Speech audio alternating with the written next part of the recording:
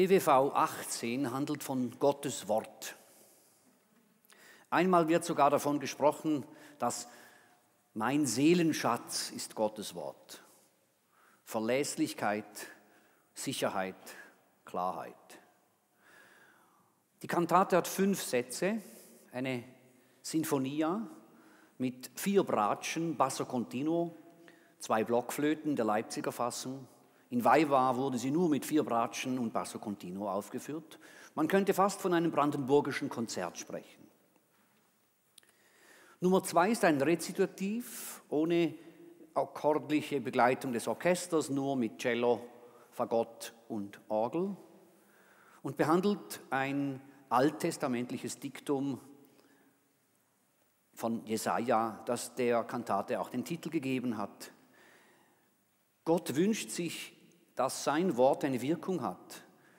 Und zwar wieder Regen und der Schnee auf die Erde fällt und die Frucht wachsen lässt, dass das wieder zu ihm zurückkommt. Die Nummer drei ist ein außergewöhnliches Stück Musik. Bis jetzt haben wir so etwas noch nie gehabt. Es ist eine Homilie vom Predigtext, dem Gleichnis des Sämanns.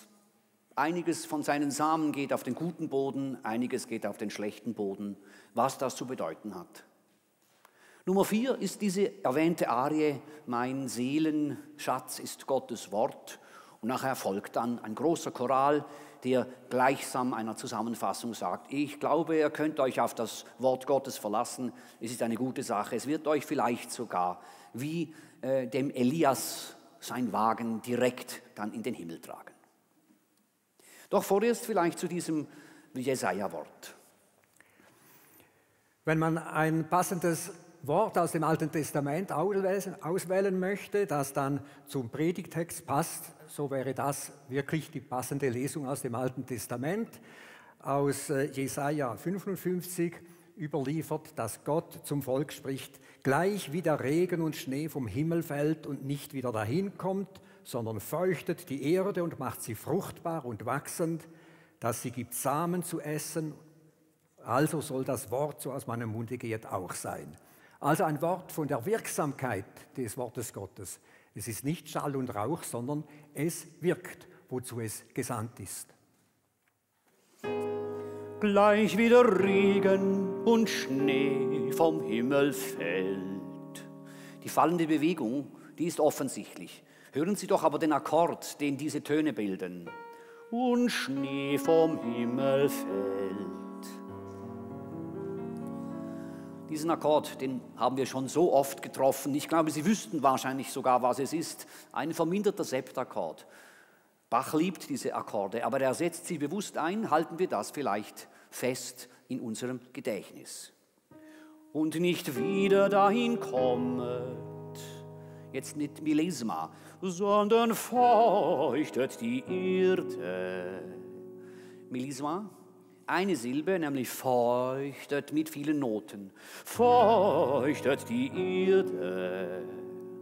Wie zeigt sich die Fruchtbarmachung? Durch einen Kanon, der Bass singt und macht sie fruchtbar und wachsend, dass sie gibt Samen zu säen und Brot zu essen. Die Basso Continuo Gruppe macht bim. Dim, di, da, da, dim, da, da, di. Nimmt diese Motive auf. Zusammen klingt das so. Und macht sie Frucht und macht sie fruchtbar und wachsend, dass sie gibt Samen zu säen und Brot zu essen. Also soll das Wort, so aus meinem Munde geht, auch sein große Akkorde für ein großes Wort. Und eigentlich könnte man sagen, der Bass hier ist nicht etwa die Stimme Christi, sondern das ist äh, die Vox Dei hier persönlich. Es soll nicht wieder leer zu mir kommen, fällt uns vielleicht auf. Es soll nicht wieder zu mir leer kommen wieder Verminderung, wieder viel Chromatik, sondern tun, sondern tun, das mir gefällt, das mir gefällt und soll und soll. Die Bassstimme imitiert in einer anderen Lage, auch in einem Kanon, Gottes Wort. Hören Sie, wie das zusammenklingt. Sondern tun, das mir gefällt und soll ihm gelingen dazu. Ich sende.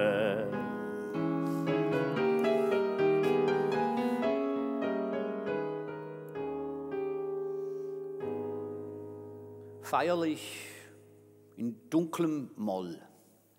Und dann kommt das Rezitativ von Nummer 3, eine wundervolle Homilie. Ja, das wäre jetzt eigentlich die Predigt über dieses Gleichnis. Der Text ist äh, von Ebert Erdmann Neumeister verfasst, einem Pfarrer. Er hat eine ganze Reihe von Kantatentexten geschrieben, die dann von Georg Philipp Telemann vertont worden sind. Telemann hat offensichtlich Erdmann sehr geschätzt und hat von ihm gesagt, er sei der berühmteste und einzig gute Poet in geistlichen Sachen. Sei dem, wie ihm wolle. Sympathisch dünkt mich, dass Neumeister sehr begeistert war von Johann Sebastian Bach. Und er hätte ihn unbedingt nach Hamburg gewinnen wollen. Er war dort Hauptpastor an der St. Jakobikirche. Aber seine Bemühungen zerschlugen sich am Widerstand der Gemeindevertreter. Die wollten nämlich unbedingt an dem Brauch festhalten, auch im Fall Johann Sebastian Bachs, dass eine Zahlung an die Kirchenkasse geleistet werden müsse. Da hat er sich dann gerächt in einer Weihnachtspredigt, in der von der Engelmusik, der bei der Geburt Christi handelte, führte er eine zornige Bemerkung ein. Er glaube ganz gewiss, wenn auch einer von den Engeln aus Bethlehem käme, der göttlich spielen könnte und wollte Organist werden in St. Jakobi, hätte aber kein Geld, so müsste er sofort wieder davonfliegen. Im Gleichnis ist zuerst von den Samen die Rede, die daneben gehen, auf den Weg und auf den harten Boden und unter die Dornen. Und erst am Schluss heißt es dann von dem guten Boden, wo die Saat aufgeht. In der Predigt fängt der Prediger mit dem guten Teil an, nämlich mit der Saat, die auf den guten Boden fällt. Und die Frage, die sich ja dem Hörer sofort stellen muss, ist, welchem Boden gleiche ich? Oder anders gefragt, wo möchte ich sein? Und die, in dem ersten Teil dieser Arie wird das nun entfaltet. Es ist ein Accompagnato, das heißt, die vier Bratschen bilden einen Akkord.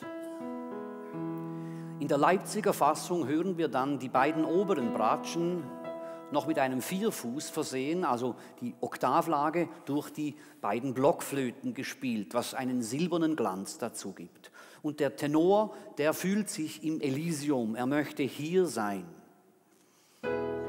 Mein Gott, hier wird mein Herz sein, ich öffne dir's in meines Jesu Namen. Arkadien, Gottes Wort als Arkadien. Wie stellt das Bach dar? Ein kleines Detail. Hören Sie die Oberstimme, ich singe sie. Na, na, na,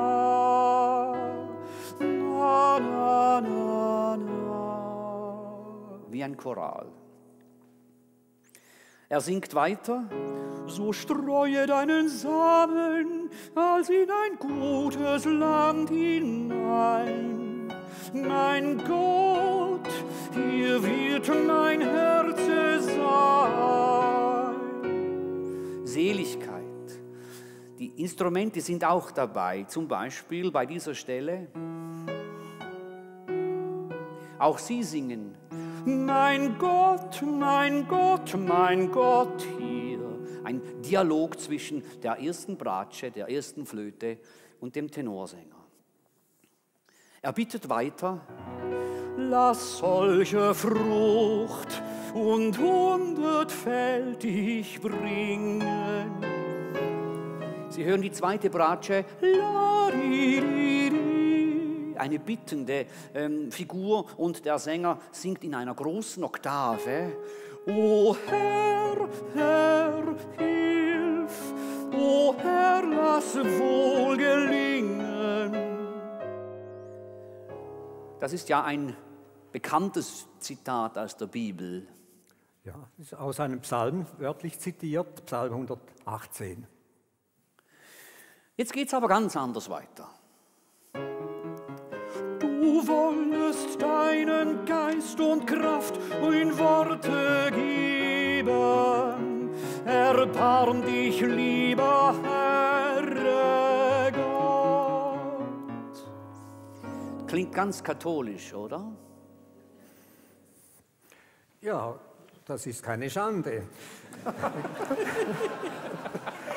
es ist äh, eine Litanei, die Luther äh, ins Deutsche übersetzt hat. Litanei ist äh, ein Wechselgebet zwischen einem Vorbeter und der Gemeinde oder in unserem Fall also zwischen einem Vorsänger und dem Chor. Und äh, Luther hat für diesen evangelischen Zweck, wenn man so sagen will, eine solche Litanei ins Deutsche übersetzt.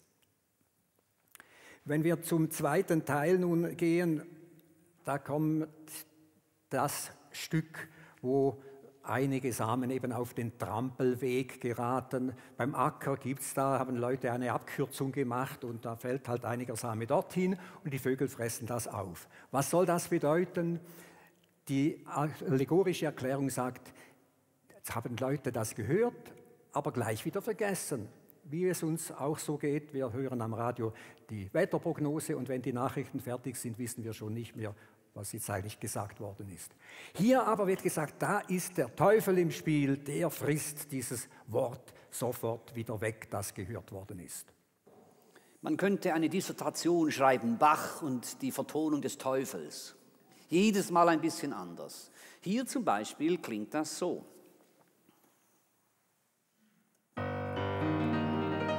Nur wir, treuer Vater, wir, dass mich und keinen Christen nicht des Teufels trug, des Teufels trug, des Teufels trug verkehre.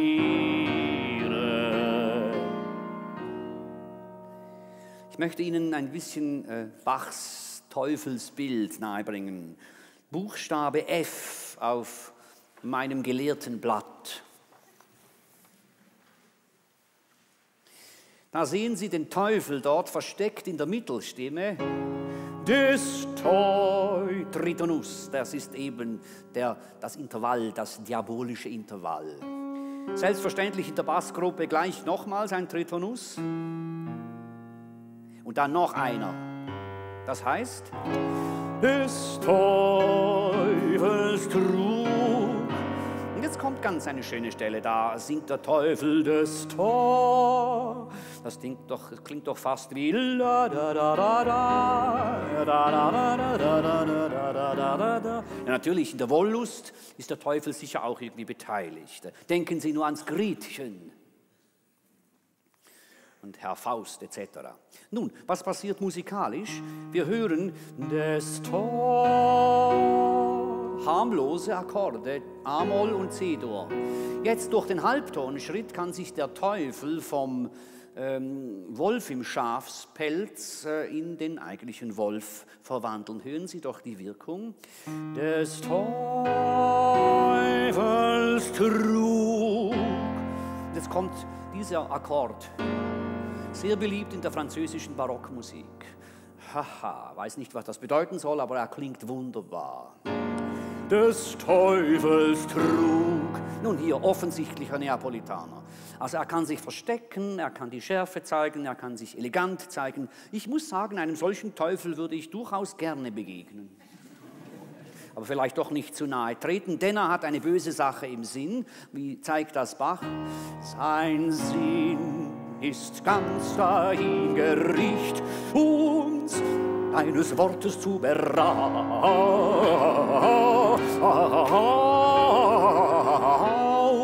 mit aller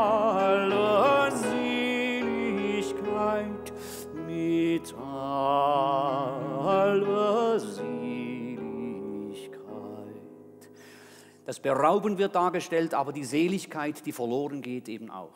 Jedes Detail, wie wir es uns gewohnt sind. Und wenn wir die Ohren offen haben und immer im Text sind und bei der Musik, dann werden wir äh, ein inneres Bild bekommen.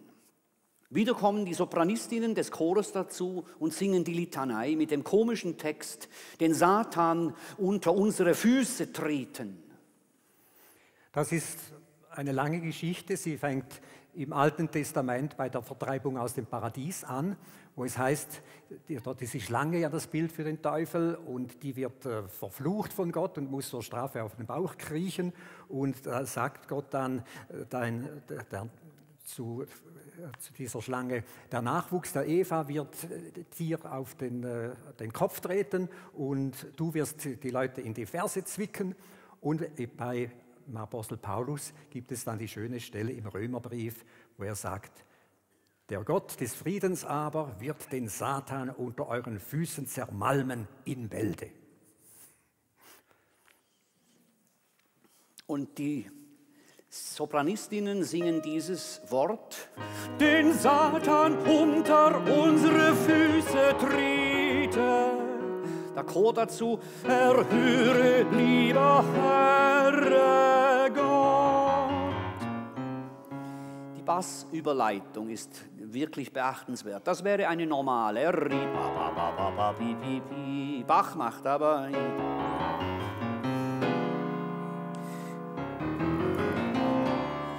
eine Tonleiter, die einen Halbton zu hoch geht und der Tenor kommt auf seiner höchsten Note.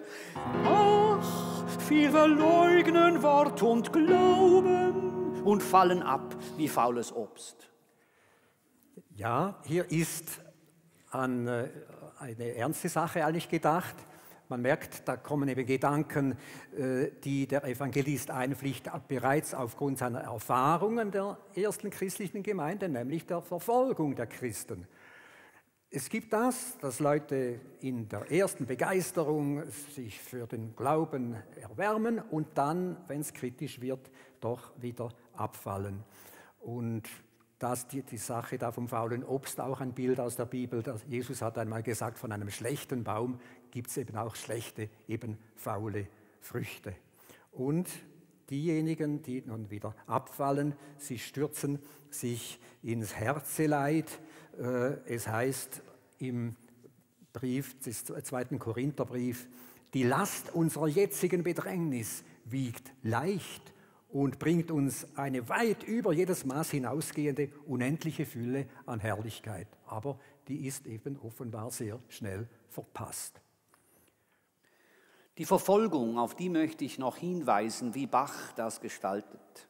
Hören Sie doch zu. Die Basslinie hat eine kleine giftige Figur, die pam pam tam tan tan tan tin tin tin tin tin tan tan tan tan tin tin tin tin wie eine Lanze tin tin tin tin ram pam bim bim pam tin tin tin pam pam tin tin tan ta di di di di di di pam Der arme Tenor wird gejagt der Tenor muss 32 dazu singen. Da muss er eine sehr schnelle Kehle haben und wird ständig von seinen Liegenoten weggedrängt. Ich spiele und singe es Ihnen etwas langsamer vor. Heute Abend werden Sie dann den Tenor mit heißhungriger Bassgruppe hinter seinen Versen dann rasen hören. Wenn Sie verfor, oh, oh, singe ich lieber nicht weiter, ich spiele weiter.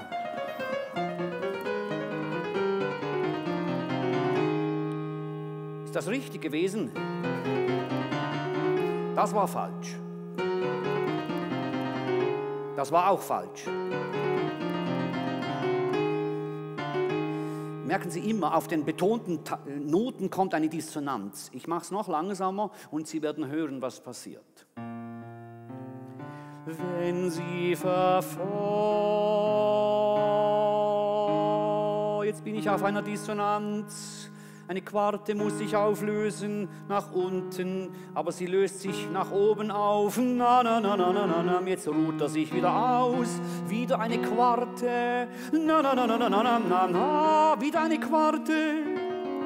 Jetzt rasen sie gleichzeitig. Jetzt kommt diese Stelle. Ich es langsam spiele, haben Sie fast den Eindruck, es sei falsch. Aber nein, das sind diese Bachschen Gewürze, diese Schraube, die er andrehen kann und die eigentlich genau auf dieses Verfolgen hingeht. Ein großer Klangmaler, Johann Sebastian. Nachher heißt es, so, so, so stürzen sie in ewiges Herzeleid. Natürlich nicht ewiges Herzeleid, ein verminderter Trugschluss, da sie ein zeitlich wie, selbstverständlich nicht, sie ein zeitlich wie, wieder, also eine Kette von verminderten Septakkorden, vermeiden und uns für des Türken und des Papsts grausamen Mord und Lästerungen wüten und toben. Ja, eine aktuelle Kantate, finden Sie nicht auch? Der, das war die Vorschau, äh, vielleicht von dir, Konrad und mir, dass wir gedacht, Schnee ist ja auch da, oder? Und der Papst ist aktuell und dann kommt noch das Wort Mammon vor, auch nicht ganz unaktuell. Was hat es da mit diesem Papst zu tun? Ja, was also exotisch klingt, äh, das spricht natürlich Erfahrungen an, die damals noch relativ aktuell waren. Die Türkengefahr. Sie standen 1683 vor Wien, also zwei Jahre bevor Johann Sebastian Bach auf die Welt kam. Und die Sache mit dem Papst, ich möchte jetzt nicht Benedikt XVI. zu nahe treten und ihm das auch noch anlasten, aber es ist wirklich eine äh, wüste Geschichte. Sie erinnert an die mit wirklich Grausamkeit durchgeführte Rekatholisierung Schlesiens. Die hat viele Evangelische zur Flucht gezwungen, damit sie ihr Leben retten konnten. Und zur Zeit, da Bach in Leipzig wirkte, waren viele aus der politischen und geistlichen Oberschicht, auch aus den Universitätsprofessoren, solche vertriebene Schlesier. Also das hat schon noch einen recht aktuellen Bezug gehabt damals, als das aufgeführt wurde.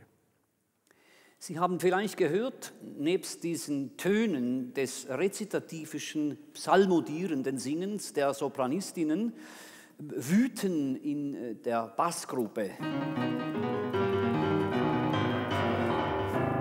Klingt doch fast wie ein Klavierkonzert von Edward Grieg oder so.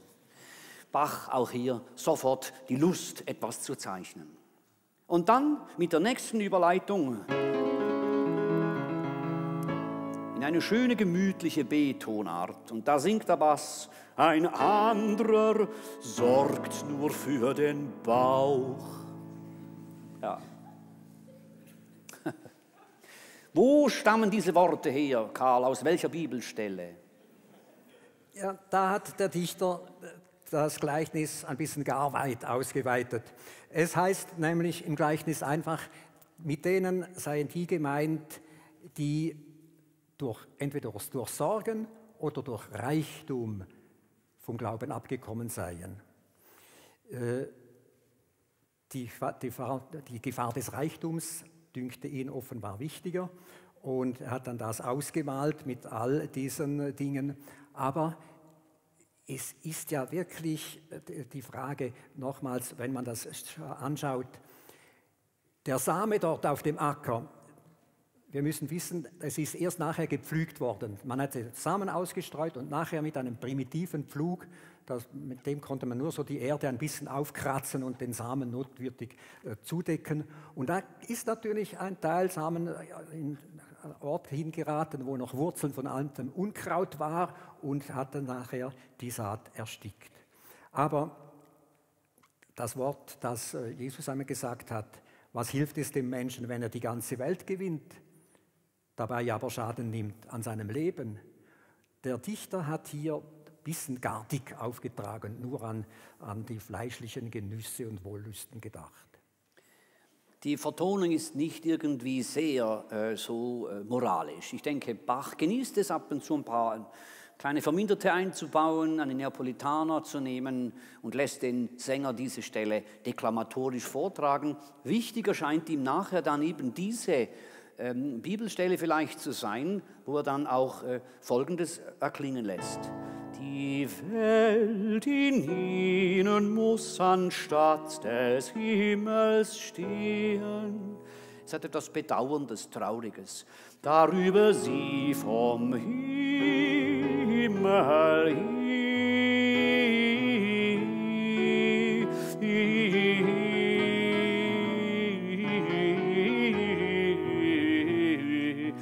singe nicht falsch, ich irre herum mit meiner Stimme. Und er lässt den Bass lange, lange irren. Ein erstes Mal, ein zweites Mal, einmal sogar auf diese Art und Weise.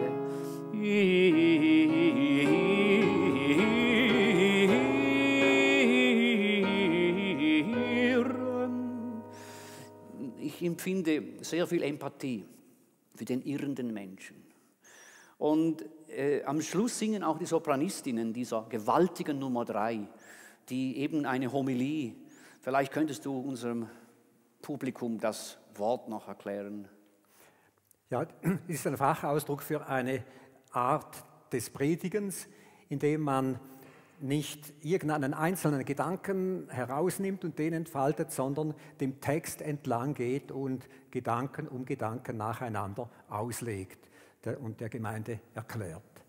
Und eben hier am Schluss lässt er sogar die Sopranistinnen singen. Alle Irrige und Verführte wiederbringen. Das hundertste Schaf, das gesucht wird, wenn es verloren gegangen ist. Und es hört dann auf. Erhör uns, lieber Herr Gott. Dieses Stück für mich einzigartig in der Art und Weise, wie es etwas darstellt. Und es geht vom guten Boden aus und kehrt im Grunde genommen an den guten Boden wieder zurück, nämlich in der Arie 4, wo es heißt, fort mit allen, fort, nur fort. Mein Seelenschatz ist Gottes Wort. Kannst du, Karl, uns einige Gedanken zu diesem Text, der Arie Nummer 4, sagen? Das könnte nun fast so etwas wie eine Antwort auf die gehörte Predigt sein, ob man das verstanden hat. Und es ist interessant, wie das hier entfaltet wird, äh, auch musikalisch dann. Der Hauptgedanke, Gottes Wort, das hält, was es verspricht, darauf ist Verlass und alles andere ist irgendwie trügerisch. Äh, da haben wir ja selber auch erlebt, wie da manches vergänglich ist. Und darum dann in dieser äh, Art, weg, nur weg, alles andere, ich will mich konzentrieren auf Gottes Wort.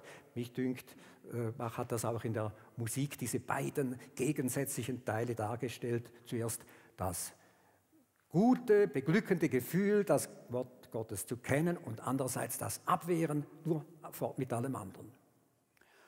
Und hier setzt Bach wieder die Bratschen ein.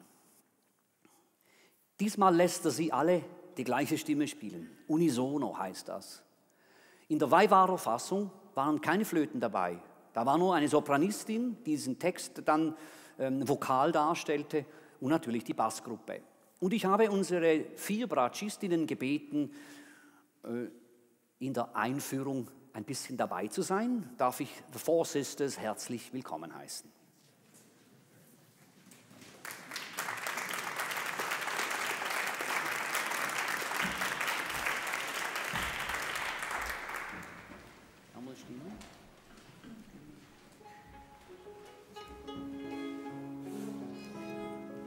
Barockbratschen mit Yamaha zusammen.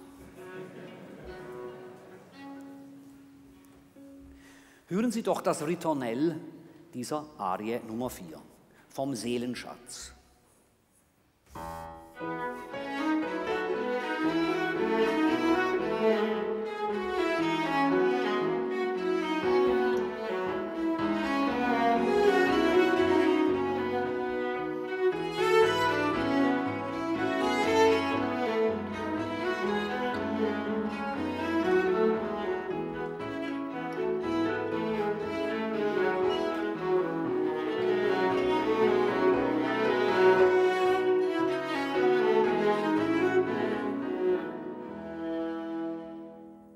Zufriedenheit. Wenn Sie die Bassbewegung hören,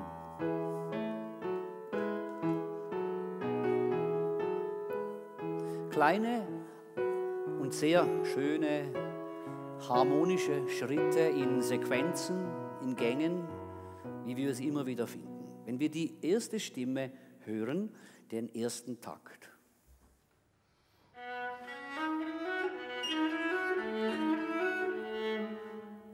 Es ist spannend, es könnte sein, das wäre vielleicht eine üblichere Version, nämlich in Sequenz, aber achten Sie auf die Töne.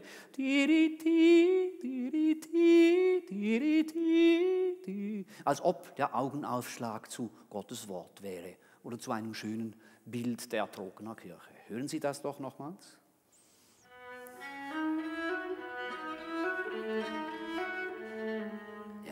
Und nachher ist es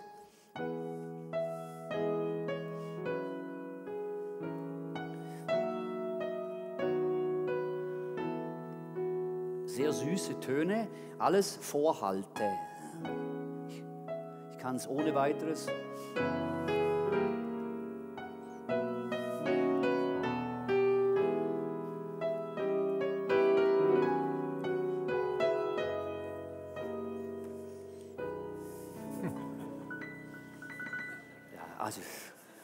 So wie das so ein bisschen gehen würde. Die Süße, was ist es? Es ist eine Berührtheit.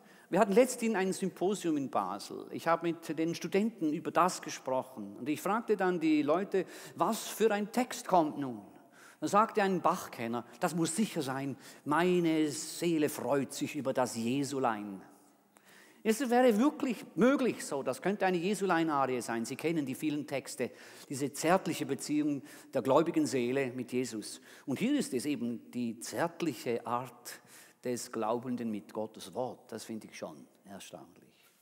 Wenn Sie jetzt nochmals diesen ähm, ähm, Klängen nachgehen, werden Sie hören, in jeder Sequenz sind andere Figuren vorhanden. Die Zufriedenheit ist die allgemeine äh, Affektlage, aber die Details, das ist vielleicht das einzelne Wort. Gerne nochmals das Ritornell.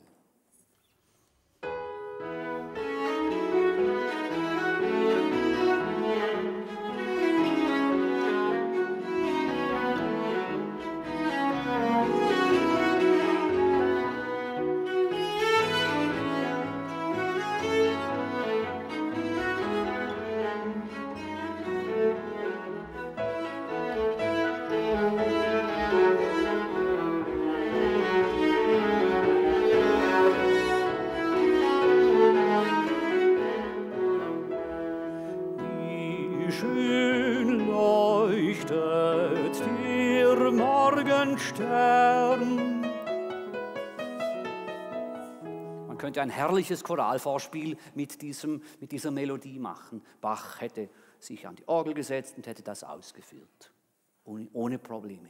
Im zweiten Teil aber geht es plötzlich zu diesem Text fort mit allen, fort nur fort. Buchstabe Gustav, hören Sie doch einmal, was die Bratschen spielen. Das ist die mittlere Stimme.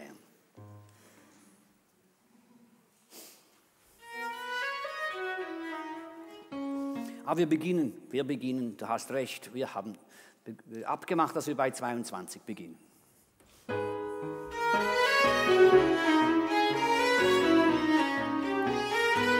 Jetzt kommt das Blatt.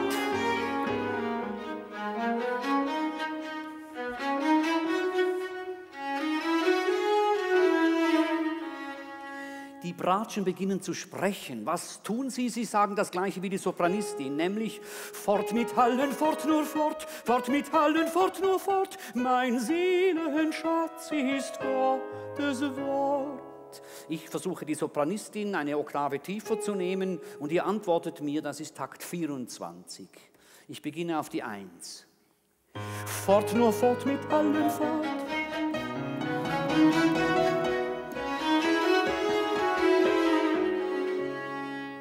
Und dazu kommt die Bassgruppe in der unteren Zeile und macht Fort mit allen, fort nur fort, fort mit allen, fort mit allen, fort nur fort, nur und rutscht weg nach D-Moll.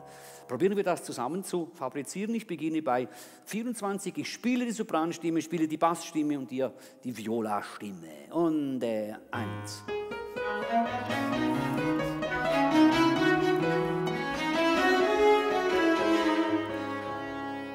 Mit einem kleinen Kanon von drei Oktaven zeigt Bach, wie dieses flüchtige Fortgehen.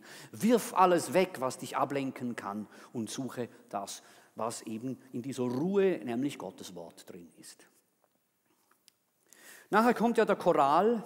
Ich bitte, o oh Herr, aus Herzensgrund, du wollst nicht von mir nehmen dein heiliges Wort aus meinem Mund.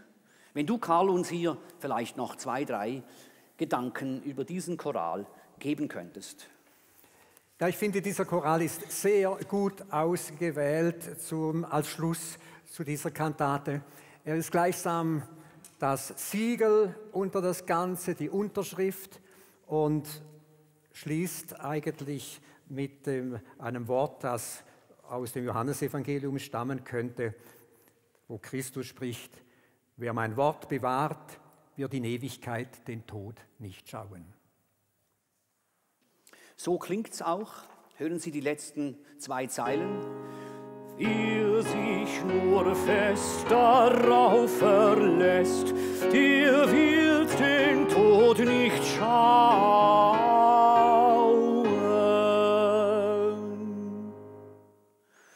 Wie wir immer jetzt mehr gesehen haben, der Schlusschoral ist sozusagen die Zusammenfassung der Kantate. Was aber ist der Anfang der Kantate? Das ist ein Konzert für vier Bratschen. Hören Sie doch den Anfang, das ganze erste Ritornell.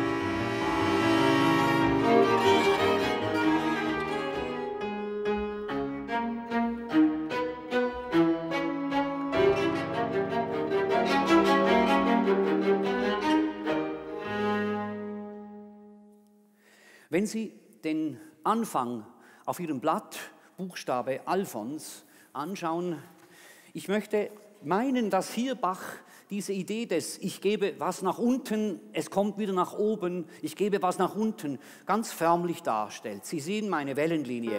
Bam, bam, pi. Das ist ein Quintfall, der würde sonst so gehen. Dim, da, ra, di, di.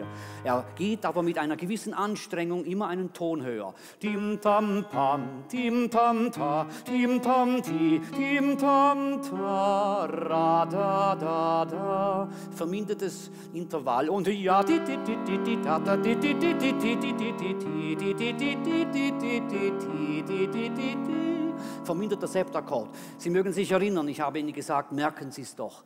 Was hat an einer solchen zentralen Stelle ein verminderter Septakkord zu tun? Denn das ist ein fröhlicher Text. Ich sage euch etwas und ich freue mich, wenn das Wort zurückkommt zu mir mit viel Frucht. Jetzt kommt eine Corellian Leapfrog-Figur. Sie wissen, was ein Leapfrog ist? Ein Hüpffrosch. Das ist diese Stimme, die Tari, plop, plop, plop, plop. Hören Sie, wie die beiden Bratschen einen verzierten chorellischen Leapfrog bei Takt 5 spielen.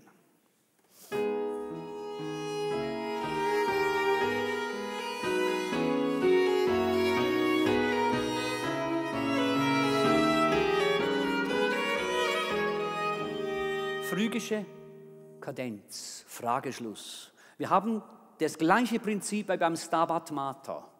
Die Mutter Gottes, die dort steht und sieht, wie ihr Sohn leidet, in Corellis, äh, in äh, Pergolesis großartiger Vertonung. Er benutzt das. Also auch hier ein Passionsgedanke. Ich habe das Stück einmal äh, nach C-Dur transponiert.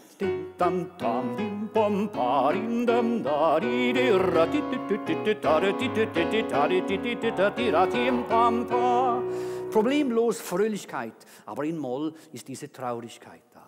Ich zeige Ihnen noch zwei, drei Details. Wenn Sie Cäsar zum Beispiel anschauen, das ist Takt 13, wenn wir das ganz langsam spielen könnten, miteinander hören Sie noch engere Verbindungen von Skalen, die von, unten, die von oben nach unten gehen und wieder einen Sprung nehmen. 4, 5, 6, 1.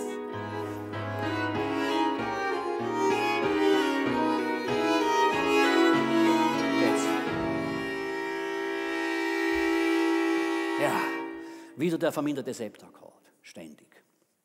Es kommt dann eine Weiche bei Takt 20. Sie können bei Dora nachschauen. Könnten wir das Ritornell spielen bei 17?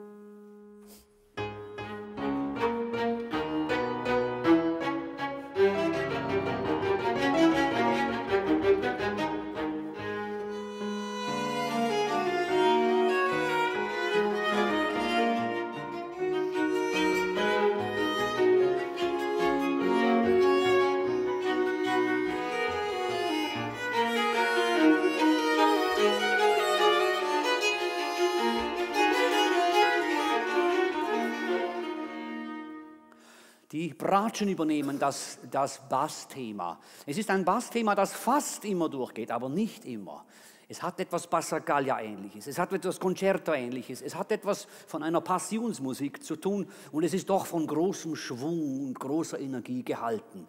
Ist das nicht unglaublich, wie Bach diese verschiedenen Elemente miteinander verbindet? Das ist nicht nur ein Eingangsspiel, wo man wartet, bis der Pfarrer dann kommt und sagt, liebe Gemeinde, ich begrüße euch herzlich und wir wollen den Gottesdienst nun beginnen mit dem Lied 520. Und ich als Organist sage, ach komm, ich habe doch den Gottesdienst begonnen und vorhin Dahin waren sogar noch Glocken da.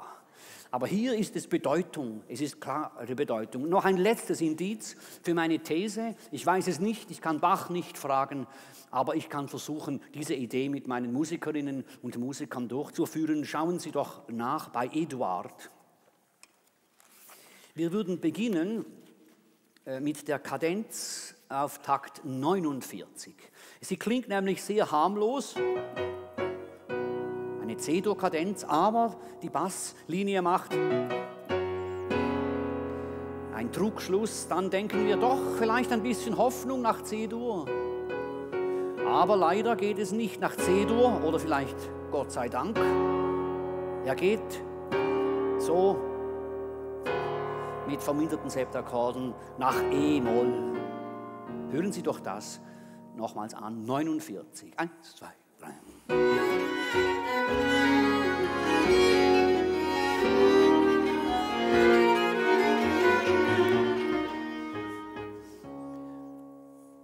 Wollen wir sie nochmals spielen? Die ist in die Hosen, ja. 49. Ein, zwei und.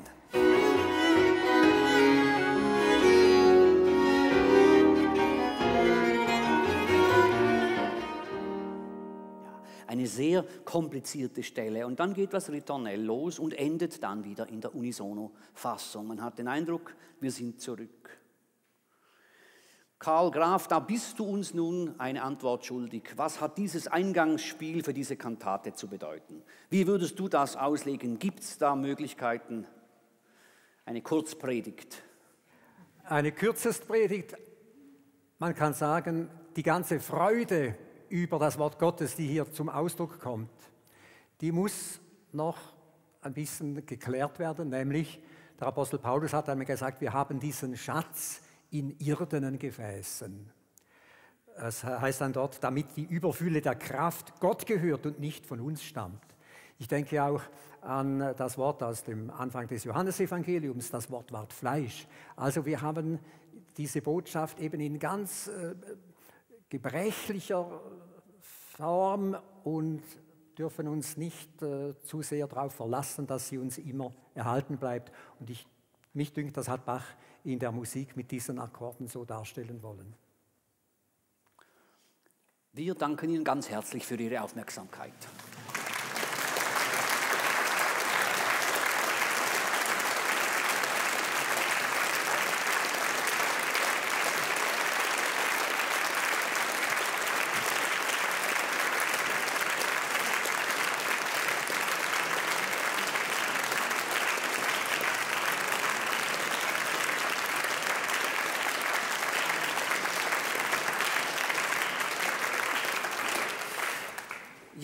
Vielleicht doch noch eine Kleinigkeit. Warum Bratschen?